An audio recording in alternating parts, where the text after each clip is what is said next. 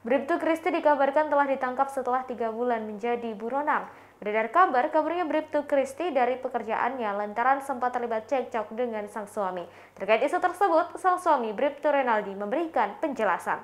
Nama Bribtu Kristi diketahui viral pasca dikabarkan mangkir dari tugas atau desersi dari Polres Manado sejak 21 November 2021. Kemudian Polda Sulut menetapkan Bribtu Kristi sebagai DPO pada Januari 2022. Bribtu Kristi pun berhasil ditangkap pada 7 Februari 2022 di sebuah hotel mewah di Jakarta. Menurut sang suami, Bribtu Kristi sedang menenangkan diri. Namun menenangkan diri tersebut bukan karena keduanya terlibat percekcokan rumah tangga. Renaldi membantah adanya masalah keluarga yang menjadi latar belakang Bribtu Kristi kabur.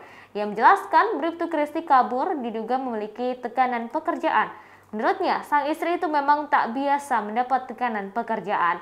Renaldi juga membantah adanya isu pisah ranjang dengan Bribtu Kristi.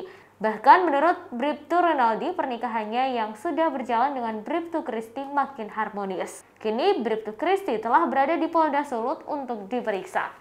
Nah, kalau untuk apa kehidupan suami istri mungkin selama ini gimana? Apakah kalau ada pisah ranjang atau seperti apa? Kalau kehidupan selama sehari-hari nggak ada masalah. Nggak ada masalah. Nggak pernah pisah ranjang juga masih akur-akur. Hmm. itu kalau untuk pernikahan sudah lama ya dengan pernikahan sudah mau jalan lima tahun. Oh lima tahun. Iya. Nah, sudah berapa? Udah punya anak? dua anak. Oh dua anak. Iya. Oke. Ini usianya anak? Yang tua tiga tahun, kalau yang bungsu dua tahun.